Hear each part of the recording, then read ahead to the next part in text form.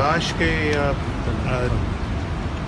یہ نوبت نہ آتی کہ جنرل فیض حمید کے حوالے سے فوجی امور کی بجائے سیاسی امور پہ آج صفائیاں پیش کی جاتی ہیں۔ یہ بڑے افسوس کا مقام ہے کہ یہ نوبت یہاں پر آئی ہے۔ اور یہ بالکل سچ بات ہے۔ بالکل میرا خیال ہے کہ اس میں کوئی شبہ نہیں ہے کہ جنرل فیض حمید صاحب اور ان کی جو ٹیم ہے، وہ پوری طرح سے ملوث ہے۔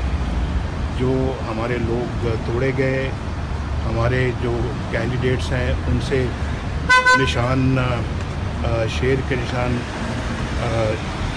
چھڑوانے کے لیے ان کا کردار ہے اور ان کو جیت کا نشان دلوانے کے لیے ان کا کردار ہے۔ اور ان لوگوں کو پارٹی چھوڑنے پہ مجبور کرنے میں ان کا کردار ہے۔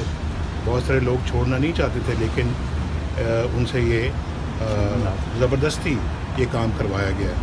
تو میں یہ سمجھتا ہوں کہ یہ بہت افسوس ہے کہ آج ان سب کاموں کے لیے D G I S P R کو یہ وضاحتیں دینی پڑی ہیں۔